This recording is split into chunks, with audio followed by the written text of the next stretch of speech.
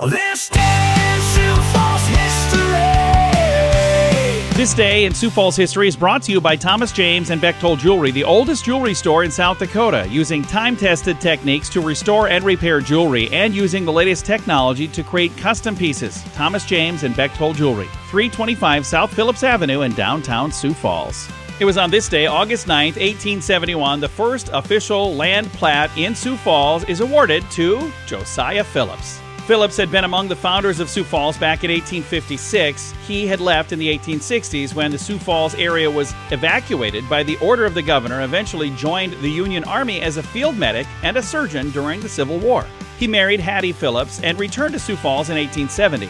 When the official federal land office opened in the area in 1871, Phillips was the first to make his land claim legal. That first plat of land that Josiah Phillips marked out roughly corresponds with the areas surrounded by Minnesota Avenue on the east and Main Avenue on the west, 6th Avenue to the north, and 9th Avenue to the south.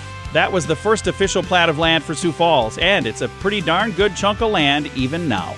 This day in Sioux Falls history has been brought to you by Thomas James and Bechtold Jewelry. Hi, this is Thomas James with Thomas James and Bechtold Jewelry. We're absolutely honored to be able to look back on the history of Sioux Falls because we feel we're part of that. But we always look forward to the future and working with your grandchildren. It's more than jewelry, it's love. Come and see us at Thomas James and Bechtold Jewelry at 325 South Phillips Avenue, downtown Sioux Falls.